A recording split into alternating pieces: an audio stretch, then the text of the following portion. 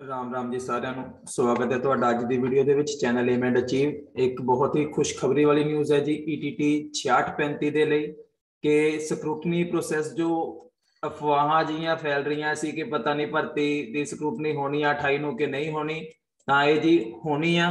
6635 ਦੀ scrutiny ਬਿਲਕੁਲ ਹੋਣ ਲੱਗੀ ਆ ਜੀ। ਤੇ ਇਹ ਨੋਟਿਸ 25 12 2021 ਤੋਂ ਜਾਰੀ ਹੋਇਆ ਸੀ ਜੀ। 25 ਤਰੀਕ ਹੈ ਇਹਦੇ ਵਿੱਚ ਤੁਸੀਂ ਦੇਖ ਸਕਦੇ ਹੋ। ਠੀਕ ਹੈ, ਜਨਤਕ ਨਿਯੁਕਤੀਆਂ ਜੋ ਹੈਗੀਆਂ ਆ, ਤੇ ਦੇਖ ਸਕਦੇ ਹੋ ਕਿ ਜੋ ਘਰ ਘਰ ਯੋਜਨਾ ਤਹਿਤ ਜੋ ਘਰ ਘਰ ਰੋਜ਼ਗਾਰ ਦੀ ਯੋਜਨਾ ਤਹਿਤ ਦੇ ਵਿੱਚੋਂ ਜੋ ਪੋਸਟਾਂ ਨਿਕਲੀਆਂ ਸੀਗੀਆਂ 6635 ਤੇ 22 ਪੋਸਟਾਂ, ਇਹਨਾਂ ਨੂੰ ਜੋ ਭਰਨ ਦੇ ਲਈ ਵਿਭਾਗ ਵੱਲੋਂ ਮੰਗੇ ਗਏ ਸੀਗੇ, ਠੀਕ ਹੈ, ਦਸਤਾਵੇਜ਼ਾਂ ਦੀ ਤੇ ਟੈਸਟ ਵਗੈਰਾ ਸਭ ਕੁਝ ਹੋ ਚੁੱਕਾ ਸੀ, ਰਿਜ਼ਲਟ ਆ ਗਿਆ ਸੀ, ਉਹ ਸਕਰੂਟਨੀ ਤੇ ਲਈ ਬੁਲਾਇਆ ਗਿਆ ਜੀ। ਉਹਨਾਂ ਨੂੰ 9 ਵਜੇ ਤੋਂ ਲੈ ਕੇ 3 ਵਜੇ ਤੱਕ ਸੱਦਾ ਦਿੱਤਾ ਗਿਆ ਹੈ ਜੀ। ਕਿੱਥੇ ਜਾਣਾ ਹੈ? ਦੇਖੋ, ਸਰਕਾਰੀ model senior secondary school Microsoft building phase 3B1 SAS Nagar, ਯਾਨੀ ਕਿ ਮੋਹਾਲੀ ਜਾਣਾ ਹੈ ਜੀ। ਸਾਰਿਆਂ ਨੇ ਜਿਹਨਾਂ ਨੂੰ ਵੀ ਬੁਲਾਇਆ ਗਿਆ 28 ਤਰੀਕ ਨੂੰ। ਠੀਕ ਹੈ ਜੀ? ਤਾਂ ਦਸਤਾਵੇਜ਼ਾਂ ਦੀ ਜੋ ਸਕਰੂਟਨੀ ਕਰਵਾਣੀ ਆ, ਠੀਕ ਹੈ ਤਾਂ ਦੇਖੋ, ਕੀ ਲਿਖਿਆ ਕਿ ਜੋ ਬਿਨੇਕਾਰ ਨਿਰਧਾਰਿਤ ਸ਼ਡਿਊਲ ਅਨੁਸਾਰ ਦਸਤਾਵੇਜ਼ਾਂ ਦੀ ਸਕਰੂਟਨੀ ਤੇ ਆਉਣ ਤੋਂ ਪਹਿਲਾਂ ਹੇਠ ਲਿਖੇ ਅਨੁਸਾਰ ਸਕਰੂਟਨੀ ਫਾਰਮ ਵਿਭਾਗ ਦੀ ਵੈਬਸਾਈਟ ਤੋਂ ਡਾਊਨਲੋਡ ਕਰਕੇ ਉਸ ਨੂੰ ਸਾਫ਼ ਸੁਥਰਾ ਭਰਨ ਅਤੇ ਆਪਣੇ ਸਰਟੀਫਿਕੇਟਾਂ ਨੂੰ ਇੱਕ ਰਨਿੰਗ ਪੀਡੀਐਫ ਤਿਆਰ ਕਰਕੇ ਐਸ ਸਾਈਟ ਐਸ ਜੋ ਵੈਬਸਾਈਟ ਆ ਜਾਂ ਜੋ ਮੇਲ ਵਾ, ਇਹ ਜੋ ਮੇਲ ਆ, ਸਾਡੇ ਕੋਲ ਜੋ ਐਡਰੈਸ ਦਿੱਤਾ ਮੇਲ ਐਡਰੈਸ ਈਮੇਲ ਐਡਰੈਸ ett6635@gmail.com ਤੇ ਆਪਣਾ ਦੋਵੇਂ ਭਰਤੀਆਂ ਦੇ ਰਜਿਸਟ੍ਰੇਸ਼ਨ ਨੰਬਰ ਅਤੇ ਨਾਮ ਭਰ ਕੇ ਈਮੇਲ ਕਰੇਗਾ। ਠੀਕ ਹੈ ਜੀ? ਚਾਹੇ ਕਿਸੇ ਨੇ ਦੋਨੋਂ ਭਰੀਆਂ ਸੀ, ਚਾਹੇ ਇੱਕ ਭਰੀ ਸੀਗੀ, ਤੁਸੀਂ ਆਪਣੇ ਇਸ ਸਾਈਟ ਤੇ ਮੇਲ ਕਰਨੇ ਆ ਜੀ। ਇਹ ਜੋ ਸਰਟੀਫਿਕੇਟ ਹੈ ਠੀਕ ਹੈ ਜੀ? ਸਾਫ਼ ਸੁਥਰੇ ਇੱਕ ਰਨਿੰਗ ਪੀਡੀਐਫ ਬਣਾਣੇ ਆ। ਤਾਂ ਉਹਦੇ ਵਿੱਚ ਕੀ ਕੀ ਇਨਕਲੂਡ ਹੋਣਾ ਚਾਹੀਦਾ? ਜਨਮ ਮਿਤੀ ਦੇ ਸਬੂਤ ਵਜੋਂ 10ਵੀਂ ਦਾ ਸਰਟੀਫਿਕੇਟ 10ਵੀਂ ਦਾ ਸਰਟੀਫਿਕੇਟ ਤੇ ਤੁਹਾਡੀ ਜੋ ਡੇਟ ਆਫ ਬਰਥ ਹੈ ਪੰਜਾਬੀ ਪਾਸ ਕਰਨ ਦਾ ਸਬੂਤ, ਚਾਹੇ 10ਵੀਂ ਜਮਾਤ ਤੁਸੀਂ ਐਂਡਲੀ ਵਾਰ ਪੰਜਾਬੀ ਪੜ੍ਹੀ ਹੈ, ਘੱਟੋ ਘੱਟ 10ਵੀਂ ਹੋਣੀ ਚਾਹੀਦੀ ਹੈ ਜਾਂ ਉਚੇਰੀ ਪੱਧਰ ਤੇ ਜੇ ਤੁਸੀਂ ਬੀਏ ਜਾਂ ਪਲੱਸ 2 ਵਿੱਚ ਪੜ੍ਹੀ ਆ, ਉਹ ਵਾਲਾ ਫਾਰਮ ਹੋ ਜਾਏਗਾ ਤੁਹਾਡਾ।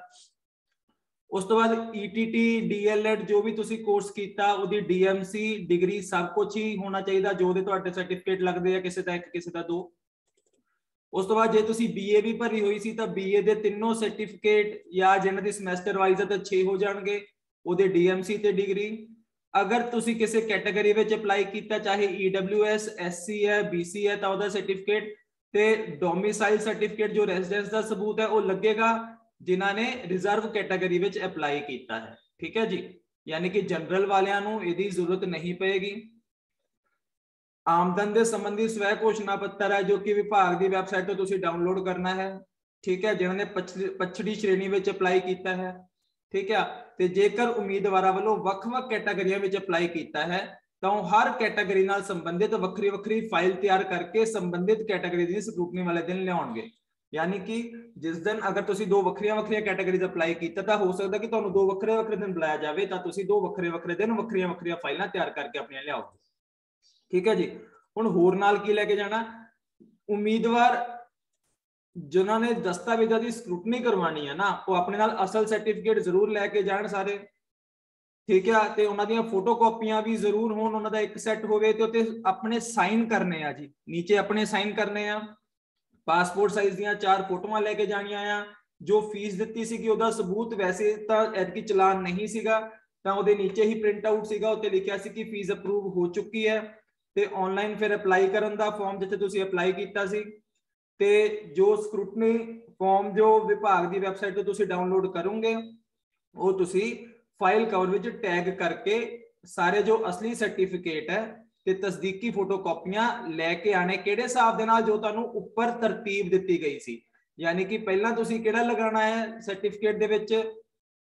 ਜਨਮ ਮਿਤੀ ਦਾ ਲਗਾ ਲਈਓ, ਤੇ ਫਿਰ ਪੰਜਾਬੀ ਪਾਸ ਕਰਨ ਦਾ, ਫਿਰ ETT ਉਸ ਤੋਂ ਬਾਅਦ ਤੁਸੀਂ ਪੀਐਸਟੈਟ ਦਾ ਜ਼ਰੂਰ ਲਗਾ ਲਈਓ ਇੱਕ।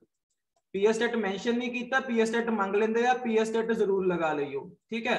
ਤੇ ਉਸ ਤੋਂ ਇਲਾਵਾ ਤੁਸੀਂ ਜੋ ਲੈ ਕੇ ਜਾਓਗੇ ਨਾ, ਇੱਕੋ ਲੈ ਜਾਈਓ ਜਿਹੜਾ ਪ੍ਰਿੰਟ ਆਊਟ ਕਢਾਉਂਗੇ ਜਿੱਥੇ ਤੁਹਾਡਾ ਨਾਮ ਆਇਆ ਹੋਇਆ, ਠੀਕ ਹੈ? ਕਿ ਤੁਹਾਡੇ ਕਿੰਨੇ ਮਾਰਕਸ ਸੀਗੇ, ਤੁਹਾਡਾ ਨਾਮ ਆਇਆ ਹੋਇਆ ਨਾ, ਉਹ ਪ੍ਰਿੰਟ ਆਊਟ ਜ਼ਰੂਰ ਲੈ ਜਾਈਓ।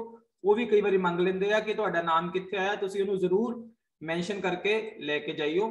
ਤੇ ਨਾਲ ਬੀਏ ਦੇ ਸਰਟੀਫਿਕੇਟ ਤੇ ਕੈਟਾਗਰੀ ਦੇ, ਤੇ ਪੰਜਾਬ ਦਾ ਜੋ ਡੋਮਿਸਾਈਲ ਸਰਟੀਫਿਕੇਟ ਹੈ ਤੁਸੀਂ ਲੈ ਕੇ ਜਾਣਾ ਹੈ ਜ਼ਰੂਰ, ਠੀਕ ਹੈ ਜੀ?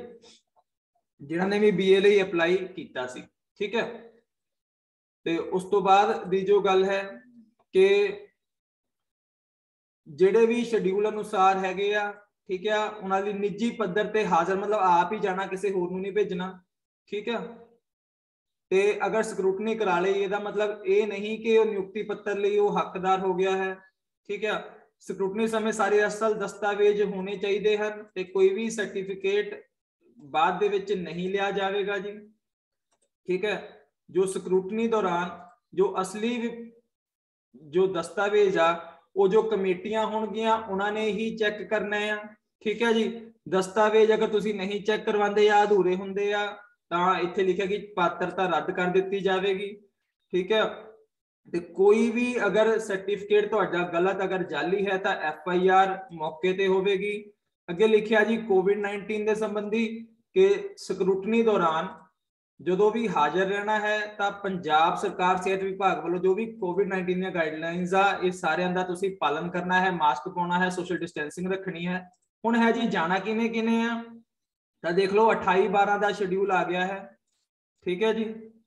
ਭਰਤੀ ਨਾਲ ਸੰਬੰਧਿਤ ਲਿਖਤੀ ਪ੍ਰਕਿਰਿਆ ਵਿੱਚ ਹਾਜ਼ਰ ਰਹਿਣ ਵਾਲੇ ਹੇਠ ਲਿਖੀ ਕੈਟਾਗਰੀਆਂ ਦੇ ਸਾਰੇ ਉਮੀਦਵਾਰ।